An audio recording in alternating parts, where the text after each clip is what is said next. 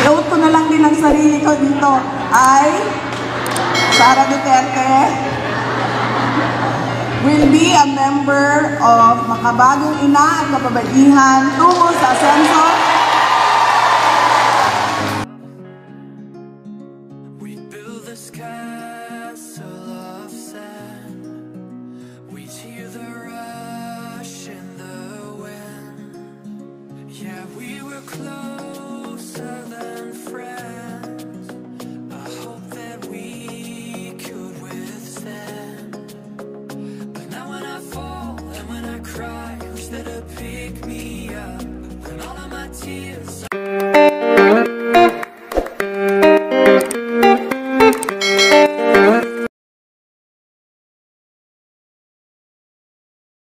So napaisip ako, ah, naalala ko, first anniversary, nandoon ako, nag, ah, nagbigay kami ng pinakaunang grant ng Magnegosyo Taday galing sa Office of the Vice President. Tapos naisip ko, second anniversary na nila ito. Pero nagtataka ako, bakit hanggang ngayon hindi niyo ako iniimbita na maging member ng NICA?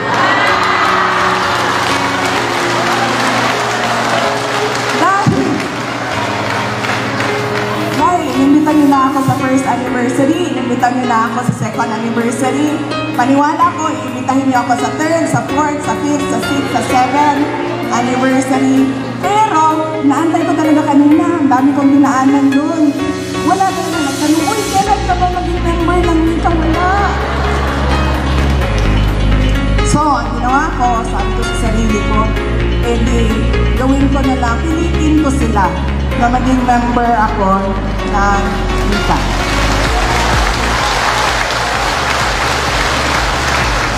I-out ko na lang din ang sarili ko dito, ay Sara Duterte will be a member of Makabagong Ina at Kapabaihan tungo sa asenso Maraming salamat so, po sa pagtanggap ninyo sa akin. Ako po ang, asa na ID ko? Ako po ang 20,001. Ako yun si Juan doon sa 20,000 ah, members ninyo. Kanina, papunta ako dito, sabi ko, i-offer ko na lang sarili ko sa kanila dahil hindi naman nila ako iniimbita. Tumayo ka sa Siyempre, pag in-offer mo yung sarili mo, may dala kang alay.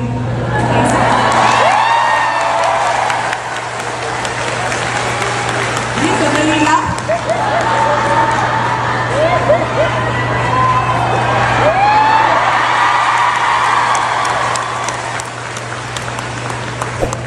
Ah, naisip ko pa. pang, Sabi ko, pang headline itong ginagawa. dahil sabi ko nga sa inyo kanina, diba? Prinsesa naman ako doon sa bahay. Pera ko ay pera ko. Naisip ko pa, ibibigay ko na lang yung isang buwan ko na sweldo, yung January ko na.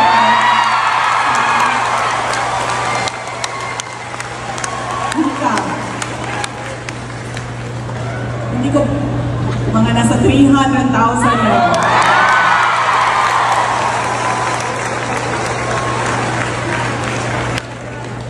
Kung kulang, ng yung, hindi ko kasi alam yung eksakto kasi ah, gross lang yung nakikita ko. Pero pag ah, kulang, hihingi na lang ako sa aking asawa para maging 300,000. Pero totoo, masaya po ako na naimbitahan ako sa pangalawang anniversary ng ah, Mika at masaya ako na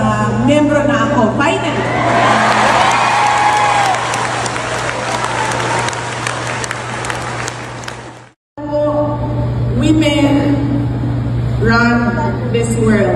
Nakita niyo po kanina ang pinakamagandang example. Nag-speech po si Mika Mercado, ang ating founder ng Mika, noong sinabi niya, di ba, Mayor? Ano sabi ni Mayor? Oo. Yan po. Ang ah, napaka ah, best example that women run this world. Bigyan ko po kayo ng example pa, isa pa. Ang tawag po ng, ng asawa ko sa akin, eh di ba, pag mag-asawa kayo, ay di ba, pag mag, nobyo kayo. So, na mag-uyak.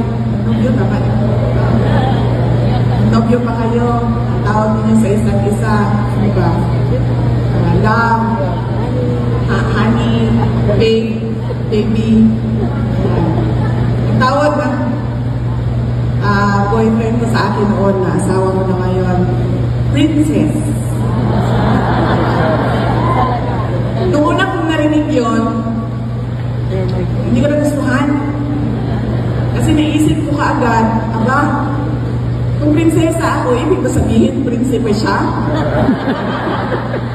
so sinabihan ko siya kaagad. Sabi ko, sandali ah, kapag tinawag mo ako princess, hindi ibig sabihin ikaw ay isang prinsipe.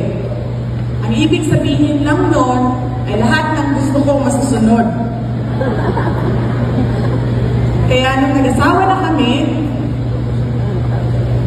ito na, di ba pag mag-asawa na kayo, syempre, sinong gagastos nito, sinong gagastos niyan, sinong magbabayad nito, sinong ah, magbibigay ng pera saan. So ko sa kanya, hindi ko sinabi ito nung hindi pa kami kasal. Kasi hindi pa nakatali eh. Nakatali na, sinabi ko na sa kanya, hmm, um, di ba tawag mo sa akin princess? Sabi niya, oo, ikaw ang prinsesa ng buhay ko. Sabi ko, okay, okay. Kasi, di ba may trabaho ka? Sabi niya, oo, may trabaho ako. Di ba sinuportahan kita sa lahat ng gusto mo? Oo, sabi ko, okay, sige. Di ba may trabaho ako? Oo, may trabaho ka. Di ba alam mo na may sarili akong pera? Sabi niya, oo, alam ko yan. Sabi ko, gusto ko, lahat ng sweldo ko, lahat ng pera ko, lahat, lahat ng pera ko sa akin lang yun. Hindi ko siya ibibigay sa bahay na ito. Ano sagot niya? Yes, princess. Yan. Ang halimbawa na ang babae talaga ang nagpapatakbo sa mundong ito. Di ba, Mayor?